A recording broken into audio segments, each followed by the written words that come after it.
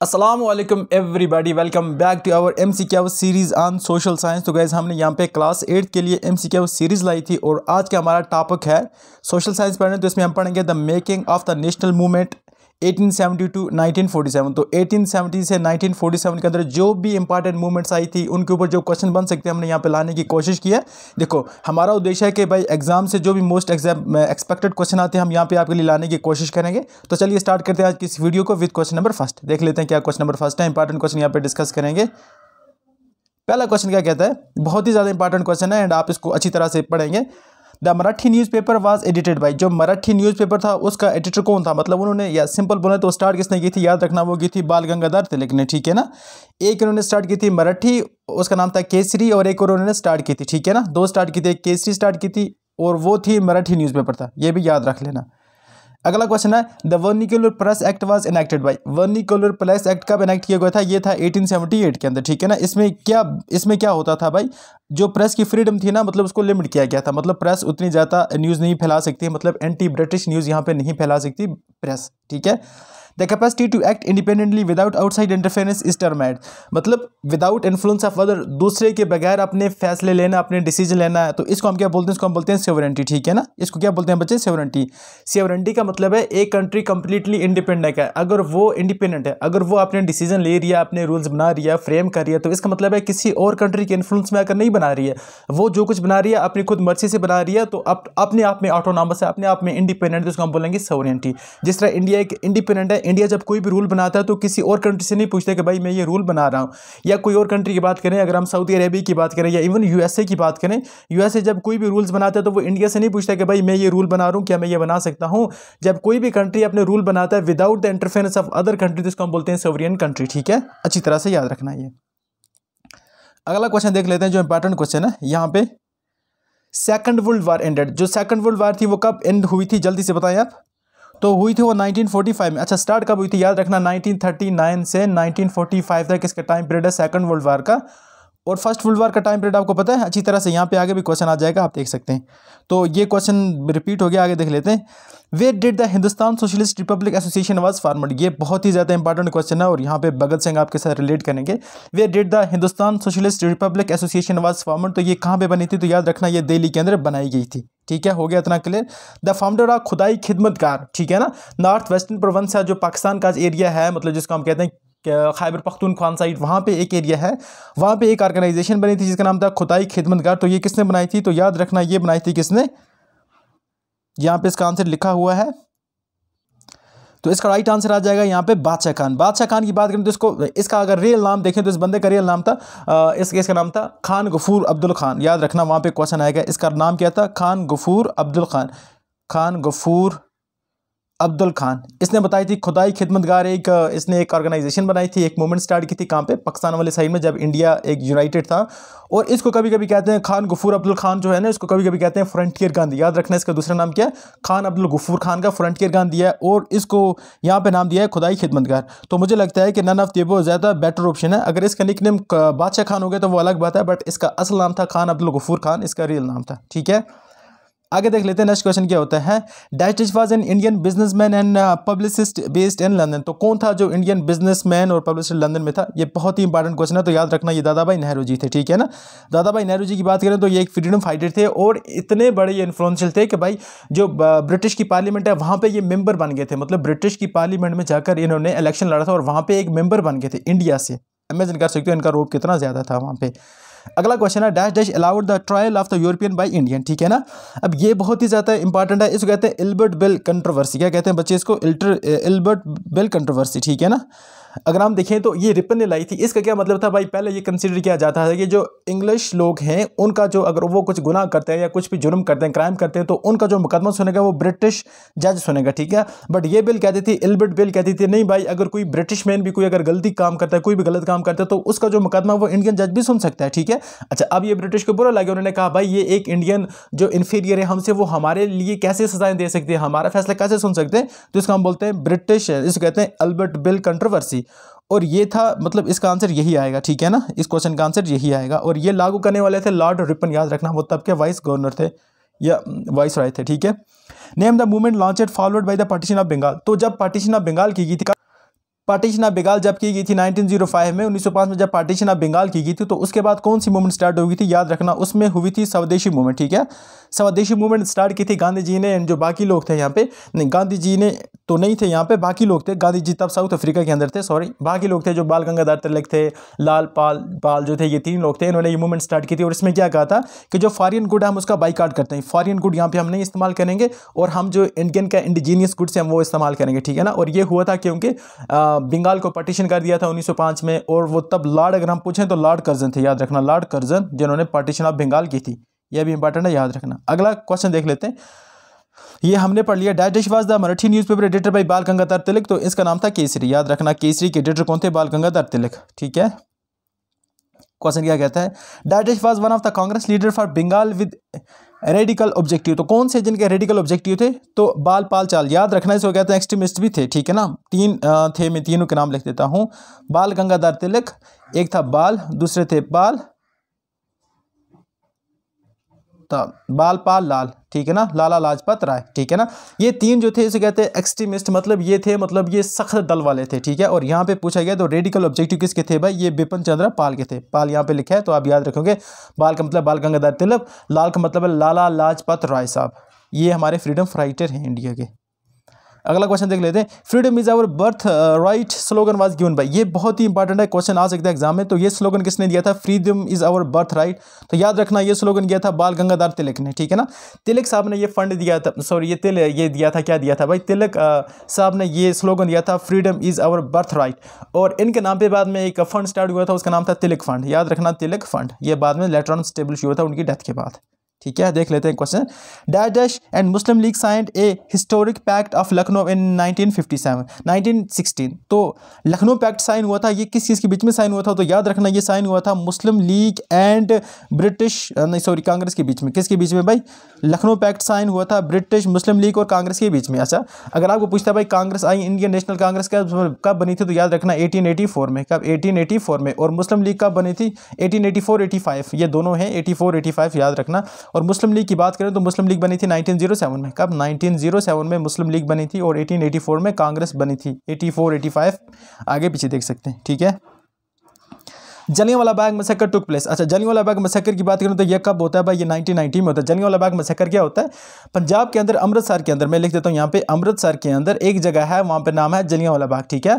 अब वहाँ पे क्या होता है भाई? थर्टीन अप्रैल नाइनटीन को, पूरी में डेट लिख देता हूँ, यहाँ पे नहीं है। Thirteen April A P R I L nineteen ninety nine को बैसाखी होती है। बैसाखी होता है, एक सिखों का एक त्यौहार होता है हार्वेस्टिंग त्यौहार होता है नाइन्टी नाइन ये लोग वहाँ पे कुछ खुशियाँ मनाने के लिए और इवन के ये समाल थोड़ा सा प्रोटेस्ट करने के लिए पीसफुल प्रोटेस्ट करने के लिए इकट्ठे हुए थे। तब क्या होता है, वहाँ पे एक जनरल आता है, उसे कहते हैं जनरल डायर क्या कहते हैं उसको? जनरल डायर वो आता है और अपने बंदों के साथ आकर क्या कर देता है, इनके ऊपर फायरिंग स्टार्ट कर देता है। और ये जो बाग के अंदर, ये जो जली वाला बाग था, इसके अंदर नियर अबाउट वन थाउज़ेंड लोग मर जाते हैं और कुछ तीन चार पाँच हज़ार लोग जख्मी हो जाते हैं। तो इसको कहते हैं जली वाला बाग में से करो और इसको कहना है जनरल डायर ठीक है, ये बात याद रखना। और ये हुआ था 1990 1919 के अंदर हुआ था। मैं थोड़ा सा डीप में नहीं जा रहा हूँ, मैं शॉर्टकट पढ़ा रहा हूँ आपको ताकि हमें पर्टिकुलर टाइम के अंदर हम अपने ऑब्जेक्टिव को खत्म कर दें। अगला क्वेश्चन देख लेते हैं। A list of leader are given below identify the leader who was not consider as the moderate but radical तो आपको बताना, यहाँ पे कुछ लीडर्स हैं, आपको बताना कि वो रेडिकल नहीं वो रेडिकल हैं बट मॉडरेट नहीं है। फिरोज शाह मेहता की बात करें तो ये कौन से हैं भाई? फिरोज शाह मेहता अगर हम बात करें तो ये है एक्सट्रीमिस्ट हैं, ठीक है ना? दादा भाई नेहरू जी, ये एक्सट्रीमिस्ट हैं। और नहीं सॉरी यहाँ पे आपको बताना है कि मॉडरेट कौन से हैं? Identify the leader who is not considered as moderate but a radical तो रेडिकल की बात हो रही है तो यहाँ पे रेडिकल की बात करें तो अरबिंदो घोष रेडिकल्स ठीक है? आगे चलते हैं। रेडिकल का मतलब होता है, भाई, जो एक्सट्रीमिस्ट हैं और मॉडरेट का मतलब है, जो चाहते थे ब्रिटिश के साथ हम ताउन करेंगे, वो हमें अल्टीमेटली हमारे काम कर देगा।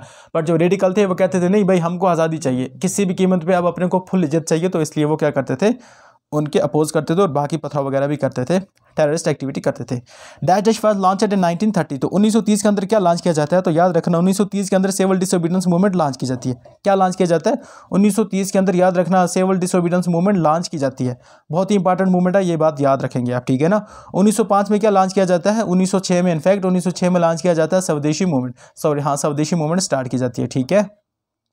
एक और बात याद रखना, अगर आपको पूछता है कि खिलाफत मूवमेंट कब लॉन्च की गई थी तो याद रखना खिलाफत मूवमेंट 1919 और 1920 में लॉन्च की गई थी 1990 90 20 में लॉन्च की गई थी। ठीक अगर आ जाता है क्वेश्चन नॉन कोऑपरेशन मूवमेंट कब लॉन्च की गई थी नॉन कोऑपरेशन मूवमेंट ठीक है? नॉन कोऑपरेशन मूवमेंट एनसीएम जिसको हम कहते हैं, ठीक है ना? नॉन कोऑपरेशन मूवमेंट कब लॉन्च की गई थी तो याद रखना ये 1920 में लॉन्च की गई थी, ठीक है ना? इसी के साथ खिलाफत मूवमेंट भी 1920 कुछ लोग कहते हैं बट असल देखें तो 1990 से लेकर 1920 तक नॉन कोऑपरेशन मूवमेंट और खिलाफत मूवमेंट चल रही थी। नॉन कोऑपरेशन मूवमेंट 1920 में और खिलाफत मूवमेंट 1919 से 1920 तक। ये बाद में मर्ज हो जाती है नॉन कोऑपरेशन मूवमेंट के साथ ही। हो गया इतना क्लियर तो आप याद रखेंगे 1920 को दोनों ही शॉर्टकट के लिए। डायटिश was a lawyer and freedom fighter from East Bengal तो कौन से थे वो शख्स जो फ्रीडम फाइटर थे? तो उसको हम क्या नाम देंगे? चिरंजन चितरंजन दास जी एक फ्रीडम फाइटर थे जो ईस्ट बंगाल के रहने वाले थे। ठीक है? Dandi march was led by किसने स्टार्ट किया था? डांडी मार्च, इसको हम कहते हैं साल्ट सत्याग्रह भी कहते हैं, और महात्मा गांधी ने स्टार्ट किया था 1930 के अंदर, ठीक है? 1930 के अंदर एक मार्च हुआ था, ये एक मूवमेंट स्टार्ट हुई थी इसको हम कहते हैं साल्ट सत्याग्रह, ये इसको हम कहते हैं डांडी मार्च, और ये स्टार्ट की थी गांधी जी ने, और याद रखना उन्नीस सौ तीस के अंदर, और ये गुजरात से स्टार्ट करके आगे गए थे, ठीक है? इंपॉर्टेंट हो गया, अच्छी तरह से याद हो गया, ये भी याद रखेंगे। अगला वाला क्वेश्चन देख लेते हैं। ये उतना इंपॉर्टेंट नहीं, अगला वाला इसको देख लेते हैं। Dash dash was the first women president of Congress तो कांग्रेस की फ़र्स्ट वुमेन प्रेसिडेंट कौन सी है? ये बहुत ही इंपॉर्टेंट क्वेश्चन है, याद रखना। अगर हम देखें तो यहाँ पे क्या मसला है? इस क्वेश्चन में गड़बड़ी क्या है? यहाँ पे अगर क्वेश्चन आ सकता है कि फ़र्स्ट इंडियन वुमेन कौन है? तो याद रखना फ़र्स्ट इंडियन वुमेन थी सरोजनी नायडू कौन थी फ़र्स्ट इंडियन वुमेन अगर आपको बोलते हैं कि भाई जनरल फ़र्स्ट वुमेन कौन थी तो याद रखना, अगर इन जनरल की बात करें तो वहाँ पे एनी बेसेंट थी। एनी बेसेंट अगर हम देखें तो ये एक यूरोपियन लेडी थी। फॉर दी फ़र्स्ट टाइम इनको बनाया गया था president of Indian National Congress but अगर पूछ लेता है कि इंडियन ओरिजिन की कौन सी इंडियन वुमेन थी जो इंडियन नेशनल कांग्रेस की पहली बार प्रेजिडेंट बनी तो वो बनी थी सरोजनी नायडू ठीक है ना? तो ये बात आप इंपॉर्टेंट याद रखना। सरोजनी नायडू की बात करें तो ये इंडियन थी। अगर हम एनी बेसेंट की बात करें तो ये फॉरियन थी मतलब यूरोपियन थी। और सरोजनी एनी बेसेंट पहले बनी थी, सरोजनी नायडू बाद में बनी थी। सरोजनी नायडू नाइन्टी मुझे लगता है ट्वेंटी सिक्स या ट्वेंटी फाइव आई थिंक इस टाइम पीरियड में बनी हुई थी। ठीक है, आप अच्छी तरह से चेक कर सकते हैं। After major split the moderate and the radicals मतलब extremist in which year did they reunite देखो क्या होता है कि 1907 में कांग्रेस स्प्लिट हो जाती है। 1907 में क्या होता है भाई? कांग्रेस स्प्लिट हो जाती है। तो ये वापस कब से जुड़ जाते हैं? 1907 में तो स्प्लिट हो गई बट याद रखना 1914 में 1940 में ये फिर से क्या हो जाते हैं? एक साथ आ जाते हैं। 1915 में इनफैक्ट 1915 में क्या आ जाते हैं? एक साथ फिर वापस आ जाते हैं। उन्नीस में से कहते हैं सूरज स्प्लिट और रीयूनियन हो जाता है उन्नीस पंद्रह में। अगला क्वेश्चन होता है, Ahmedabad is located on the bank of Ahmedabad की बात करें तो वो साबरमती रिवर के बैंक पे लोकेट करता है। हो गया इतना क्लियर अच्छी तरह से। अगला क्वेश्चन देख लेते हैं, ये वाला इंपॉर्टेंट क्वेश्चन है। And which year Meerut controversy took place ठीक है ना? मीरट मीरट था, ये कंट्रोवर्सी टुक प्लेस तो याद रखना ये 1929 में होता है in which year Mahatma Gandhi was born तो महात्मा गांधी कब पैदा होते हैं? तो ये बहुत बड़ी इंपॉर्टेंट क्वेश्चन है तो याद रखना महात्मा गांधी पैदा होते हैं 1969 में। महात्मा गांधी के ऊपर और कुछ बता देता हूँ तो याद रखना महात्मा गांधी जब बैचलर गई थी, उन्होंने लंडन से बैचलर डिग्री किया, ला की बैरिस्टर कहते हैं इनको। फिर ये गए थे साउथ अफ्रीका में। कहाँ पे गए थे भाई? साउथ अफ्रीका में, वहाँ पे दादा अब्दुल्ला का केस लड़ने गए थे। फिर ये आते हैं इंडिया में, वापस आते हैं, बहुत वक्त के बाद मतलब उन्नीस सौ पंद्रह में वापस आते हैं। और उन्नीस सौ पंद्रह डेट की बात करें तो ये नौ जनवरी उन्नीस में वापस आते हैं। नौ जनवरी उन्नीस सौ पंद्रह में वापस आते हैं, फिर ये इंडिया में काम करते हैं, इंडियन फ्रीडम के लिए अपनी जान लगा देते हैं मतलब अपना टाइम पूरा इंडियन फ्रीडम में लगा देते हैं, ठीक है? क्वेश्चन है at which place Mahatma Gandhi has his first satyagraha तो महात्मा गांधी ने सबसे पहला सत्याग्रह जब इंडिया में आए थे तो याद रखना चंपाराम सत्याग्रह हुआ था, जो 1917 में हुआ था, ठीक है? 1917 में चंपाराम सत्याग्रह हुआ था। In which year workers day was celebrated fourth first time in India तो वर्कर डे कब सेलिब्रेट किया गया था? तो याद रखना, ये नाइनटीन में वर्कर डे सेलिब्रेट किया था। Who order the firing at the Jali Bagh तो जली बाग पे किसने कहा था कि भाई यहाँ पे लोगों को पे, निहत्ते लोगों पर मतलब जो इनोसेंट लोगों पर आप फायरिंग कर दो तो ये किया था जनरल डायर ने जो वहाँ का क्या था भाई? चीफ था। हो गया तो स्लोगन जय हिंद जय हिंद। ये स्लोगन किसने दिया था? तो ये दिया था सुभाष चंद्र बोस ने। आप सभी इसका नाम जानते हैं कि ये बहुत ही बड़े फ्रीडम फाइटर थे। इनका नाम था Subhash Chandra Bose. When did Muslim League pass the revolution for Pakistan resolution for Pakistan तो ये 1940 में हुआ था। ये बात याद रखना, इससे पहले नहीं आया था बट 1940 में जिन्ना साहब ने क्या किया था कि भाई हम एक रेजोल्यूशन पास करते और हमें एक सेपरेट कंट्री चाहिए फॉर मुस्लिम तो उसका नाम हम रखेंगे पाकिस्तान, उसका नाम रखेंगे। हो गया इतना क्लियर आगे वाला है। At which place Gandhi broke the salt law by making salt तो किस जगह पे? वो याद रखना डांडी इसीलिए इसे कहते हैं डांडी मार्च भी कहते हैं। Who headed the interim government formed in 1946 तो इसके कौन हेड थे? तो याद रखना इसके हेड थे जवाहरलाल नेहरू, जो हमारी जो इंटरम गवर्नमेंट इंटरम का मतलब होता है जो असली गवर्नमेंट ना हो मतलब एक किस्म की मतलब सीडो गवर्नमेंट हो। अभी इलेक्शन नहीं हुए हैं रियल गवर्नमेंट नहीं है बट उसके पर एक्स एक हम नॉर्मल गवर्नमेंट रखेंगे। तो उसके जो सरबरा थे वो थे Jawaharlal Nehru. For which proposal Gandhi use the word a post card checker post dated cheque of a drawing bank तो ये किसके लिए किया था? याद रखना, ये वेवल था, या क्रिप्स। आई थिंक इसमें कन्फ्यूज़न है तो यहाँ पे ऑप्शन सी है तो इसी के साथ जाएँगे। याद रखना, ठीक है? इसमें कन्फ्यूज़न मैं आपको कमेंट सेक्शन में बता दूँगा। Here don't worry for that who among the following was not a leader of Indian National Army तो कौन इनमें से इंडियन नेशनल आर्मी के लीडर नहीं थे? तो याद रखना, इसमें से ऑप्शन डी हमारे पास। सचदेव की बात करें तो ये नहीं थे, ठीक है ना? अगला क्वेश्चन एंड यहाँ पे देख लेते हैं। अगला क्वेश्चन क्या कहता है? When was the Congress Socialist Party former तो कांग्रेस सोशलिस्ट पार्टी कब बनती है? तो भाई ये बनती है 1934 के अंदर कांग्रेस सोशलिस्ट पार्टी बनती है। Against whom the Khilafat movement was launch तो खिलाफत मूवमेंट किसके खिलाफ लॉन्च की गई थी? तो ये गवर्नमेंट ऑफ़ इंग्लैंड के खिलाफ लॉन्च की गई थी, ठीक है? क्योंकि उन्होंने तुर्की के जो खलीफा को इसको डिस्पोज कर दिया था। Who among the following was not a part of Khilafat movement तो इसमें कौन से खिलाफत मूवमेंट के पार्ट नहीं थे? तो सरदार वल्लभ भाई पटेल ने इसको नहीं सपोर्ट किया बट गांधी जी ने इसको सपोर्ट किया था, ठीक है ना? आगे आ जाते हैं and what revolutionary was sentence to death on the charge of the murder of Saunders तो इस, उनका नाम क्या था? उसका नाम था चंद्रशेखर आज़ाद जी को सुंदर के मर्डर केस में अंदर मतलब सजाए मौत दी गई थी। ठीक है? हो गया इतना क्लियर अगला क्वेश्चन है who among the following was not a part of Kakori controversy या कंस्पायरेसी तो ये कौन थे जो इसका पार्ट नहीं थे? याद रखना कादिर नाथ शेगल नहीं थे इसका पार्ट ठीक है? डेथ और victory who give this slogan मौत या आज़ादी तो मौत या जीत विक्ट्री का मतलब है जीत तो ये स्लोगन किसने दिया था? ये दिया था इंडियन नेशनल आर्मी का ये स्लोगन था, ठीक है ना? ये तब 1945 में बनी हुई थी। Who among the following with Bhagat Singh threw of the bomb and central legislative assembly in the year 1929 तो किसके साथ भगत सिंह ने सेंट्रल लेजिस्लेटिव असेंबली 1929 में बम फेंक बम को फेंका था? तो ये थे कौन? याद रखना, राजगुरु इनका नाम था, ठीक है ना? तीन थे राजगुरु सुखदेव और ये खुद भी थे। ठीक है ना? Udham Singh went to England to kill याद रखना जब नाइनटीन 1919 में क्या करता है भाई? जनरल डायर जब क्या मार देता है, पूरे वाला बाग मसकर करवा देता है, एक हज़ार लोगों को मार देता है तो इनका बदला लिया जाता है। एक शख्स के ज़रिए उसका नाम होता है ओदम शेख और वो 20 साल तक वेट करता है इसका, और फिर वो जाता है इंग्लैंड और वहाँ पर जाके मारता है किसको? ओदम सिंह को मारता जनरल डायर को मारता है सॉरी जनरल डायर को मारता है। जनरल डायर कौन था भाई? जिसने मसक्कर करवाया था वाला बाग, जिसने एक हज़ार बंदों को मरवाया था। तो बीस साल के बाद वो क्या जाता है? इंग्लैंड जाता है और अपना बदला लेता है, और ओदम सिंह क्या मारता है, उसको मारता है जाकर वहाँ पर ये बहुत ही इंपॉर्टेंट है, इसको याद रखना, ठीक है? Who among the following I N A officer was not right of charge of treasons तो आई एन ए को इंडियन नेशनल आर्मी का ऑफिसर कौन था? तो ये था मोहन सिंह, ठीक है? आगे क्वेश्चन जो इंपॉर्टेंट है, वो पढ़ेंगे। With whom many follower Gandhi completed his Dandi march तो उसके साथ कितने बंदे थे? सेवेंटी एट बंदे थे। जब गांधी जी ने डांडी मार्च निकाली थी तो सेवेंटी एट बंदे थे, लेकिन जब डेस्टिनेशन पहुँचे तो वहाँ पे लाखों की तादाद में उनके साथ आदमी जुड़ गए थे, ठीक है?